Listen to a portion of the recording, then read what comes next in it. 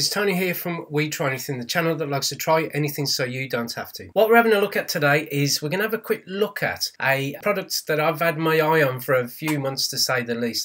To be honest, I've been waiting for it to go down in price, but it hasn't. So I just thought, well, I'll take the plunge and um, just go and get it and obviously build it and then give it a quick review and see what I think. Um, the what I'm looking at today is a gaming chair for the office. Now, what we've got today, what so what I what I normally sit on is something you probably can hear hear it creak in some of the older videos. Um, it's something I've had for years. The gas lift has gone on it, and um, the back it's it is actually starting to give me back pain now. So what I thought I'd try is something like a it, you know nothing nothing too expensive because even though I do sit it sit it most days, it is something that I, I, mean I could you could spend thousands on a Herman Miller or Herman whatever they're called um, real professional chairs. But for me it's just it's just something just to you know keep me comfortable during the day. So what I'm going to look at I did consider this one but I just wanted something a bit smaller to fit in the space that I normally sit at.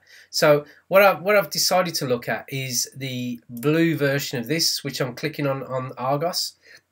Now unfortunately it is at a good price and it is um, when you read the reviews, it does get some really good reviews. There's the odd one or two where it says it's a bit, you know, hit or miss, but generally it does get some good reviews. And I've highlighted the price here at £65. I have seen it for 53 on Hot UK deals, which I have done a review of. What we're going to do is we're, we're going to have a look at it today. I have purchased it, but I just thought I'd show you where I got it from. I mean, there are other makes of gaming chair and stuff like that. And there's also other colours that they do here, which is red.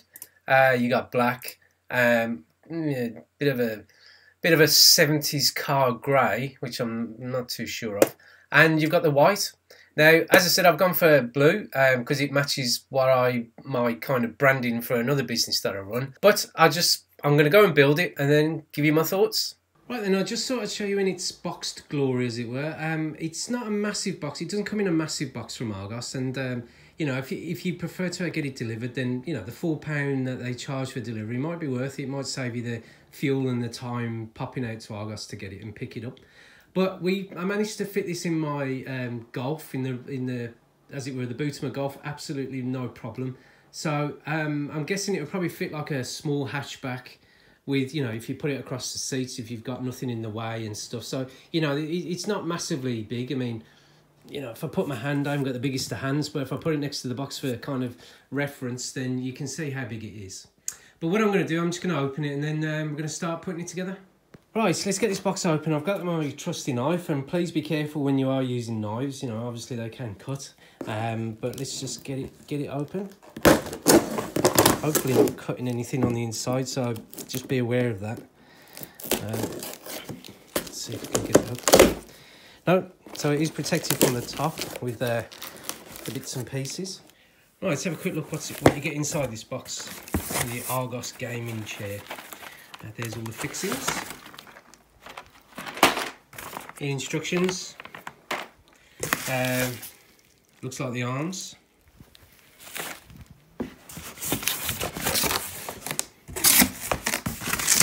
see what else you get. Right, guessing feel like casters. And these are the oh no, these are casters, so just there. That looks like what would be the back. Well, it's got some quite some heft to it. And the base, just there. And obviously you've got the uh, the actual base part in which the casters fit on and the gas lift goes on top of. The mechanism there for the tilt, sorry, the, the up and down motion of the, the um, as it were of the chair, and then that's it. That's the whole box just emptied.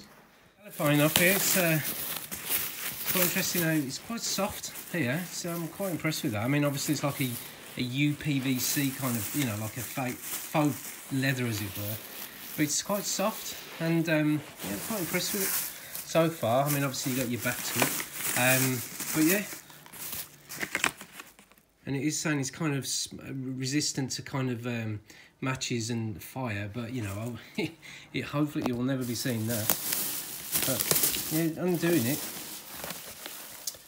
yeah yeah I quite like it. There's no tears there's no nothing I can see. Yeah I like the look of that. Now undoing the, the base part of it again it's, it's obviously not as the foam's a bit more sturdier than what it is on the other one a bit more thicker. Um, but you know you've got the what looks like your fixings there for the arms there. Um, and then you've got all the base stuff going on here and then obviously the carelessness causes fire message warning do not remove this tag. And yeah and quite you know it feels quite it feels feels I've got to admit feels quite nice uh, looking at it. But I mean obviously the proof will be in the pudding once it's built. I mean you know it's 65 quid. It's not gonna in terms of gaming chairs it's not the best. But you know I'm gonna just see how it goes and then uh, see how it puts together uh, sorry comes together and then what it feels like Right, just quickly opening this box, and I got it wrong being the casters, because obviously the casters are over there. But what it is, is um, a gas strut uh, the gas lift, as it were, me uh, mechanism with the actual um, two plastic parts that covers the mechanism and probably protects it as well. What, what the first thing you've got to do within this um, uh, for the chair is you just got to put the casters on. And you, forgive my uh, luminous trainers um, you just put the casters on like such. And um, they go on very easily to say the least yeah there you go. It's very easily done and um, obviously with the weight of sitting on it as well will kind of bed them in better um, from what I'm understanding. But this is the first thing you do as per the instructions. And yep that goes on like that. And then let me just move the base out of the way and then you pop that on there. So what you do is you just pop that on there as such as per what the instructions have said and then what I've found um, I got it wrong originally you you get that piece and you put that piece within the base of this piece so it goes like such. So it'll fit like that. And there you go. There's your, your gas lift ready to go so looking at the instructions the next part of the puzzle is that you just get this unpack this from the packaging that was there and you just make sure that that's at the front or pointing you know you, you base it on the instructions and then you pop this over the holes here and then you start screwing in the actual um, screws as it were just to get this part of the seat ready to for its operation. What I do like about this um, the instructions as it were as well is obviously they refer to um, the actual fixings and the way they refer to them is is with the um, alphabetical letters for each of the parts. So for example here um, on these uh, as it were screw screws, as it were, that I've got to go here in here, or the bolts, as it were. Um, it refers to D. And what I like about that idea is, is that it just you're not guessing what's going to go in where. It is actually kind of specific to the holes. And the actual screws seem to have like a bit of thread tape on them as well, just to kind of help them keep them in place. So, you know, I do like that feature of um, instructions and the parts that you get with it. Right then, the next thing to place on here is the actual back elements of the chair. Now I've got I've got it supporting on my usual chair uh, just to help me out because I'm doing it on my own. But what I would say as a pro tip would be um, I did tighten these originally and I had a right going trying to get this in. So what I've had to do is undo them all and then obviously um, put all these in loose and just tighten them up as I go along.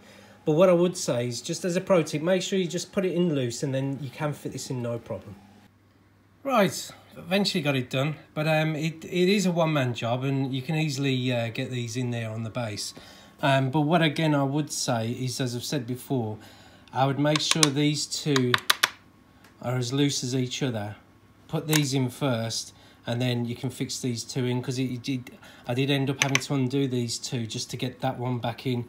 Sorry, undoing that one just to get these tightened up and that one in there. But I mean, again, as I say, it'll probably be obvious once you start building it.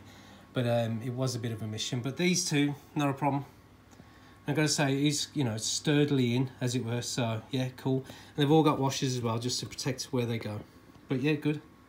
Right, the next part is the actual arms of the chair that I'm going to fix. Um, from looking at the instructions, it's pretty self-explanatory. And you do get, you know, it does refer to the actual bolts there, which are long enough. and they just go into the holes here as you can see that one and that one and with the, the actual arms as well you do get a little bit of padding just so you don't get your arm caught on the uh, desk sorry or the actual chair. Right they went in okay. Um that did meet that did come down a little bit there so you had to kind of push over with the screw in just so it then gets a purchase on the actual screw part. But yeah that went in no problem. And you do get these natty little caps as it were. Just pop them just get them out To pop over it once you're happy that the uh, seat arm as it were is tight enough and just pop it over there just to finish sorry just to finish the actual look and I gotta say, you know, it is nice and it is going together very well. Right, after a bit of messing around, and especially I had to use a, a bike, as it were, a bike um, multi-tool just to just to finish off the arms here, because what what had happened was the actual M6 uh, hex key that you got started to round off.